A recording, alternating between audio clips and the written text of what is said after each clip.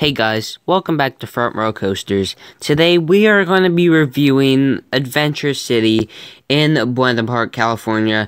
This park is located about 10 miles away from Disneyland and maybe 5 miles away from Knott's Berry Farm. And since it's in the shadows of those two parks, this park does not get very much attention. When I was here, there wasn't more than maybe 25 people at max.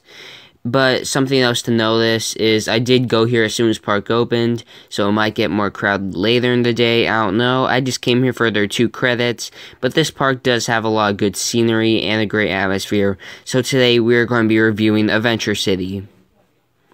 First off, we have the two coasters. These are Freeway Coaster and Rewind Racers. Freeway Coaster is a nice kiddie coaster, but a little bit rough. On the other hand, Rewind Racers goes backwards, forwards, has a helix. It's a great family coaster and was definitely the biggest surprise on this trip. Next, we have the other rides. There's a drop tower, a train ride, a balloon ride, and there's just a lot of rides for kids of all ages. Next, we have the food. And the food here was decent for theme park food.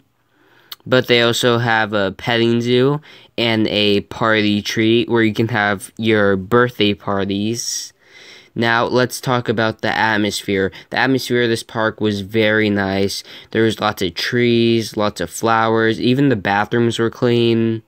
And there was no trash on the ground from what I could tell the park staff were, were cleaning everything, even if they weren't dirty. It was just very nice.